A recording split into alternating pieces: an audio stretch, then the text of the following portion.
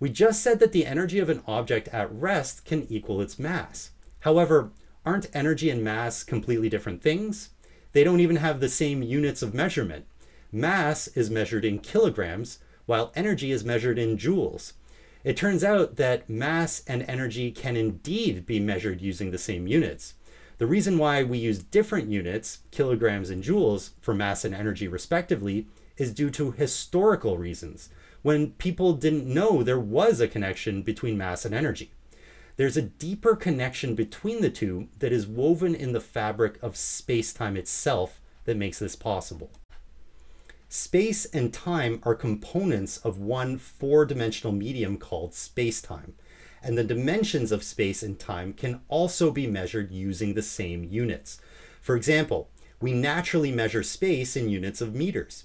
It is only for historical reasons and convenience that human beings have measured time in seconds. However, time can also be measured in units of meters.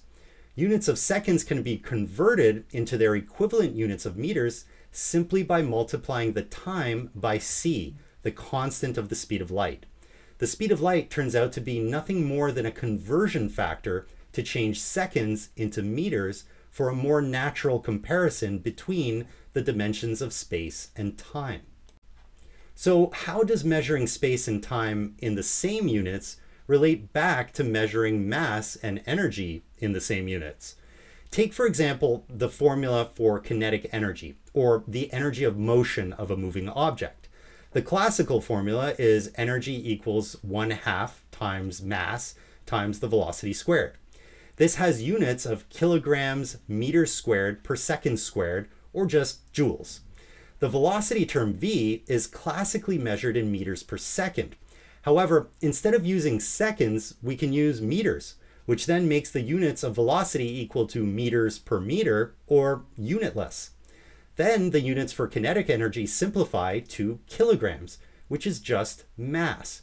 This is also true for momentum, which is classically defined as mass times velocity, which again results in having units of kilograms. One important thing to note here is that despite mass, energy, and momentum all having the same units of measurement, they're not the same thing. However, they can be compared together on an equal footing to show their relationship. Similarly, space and time are not exactly the same thing, but we can compare space and time together as component dimensions in spacetime.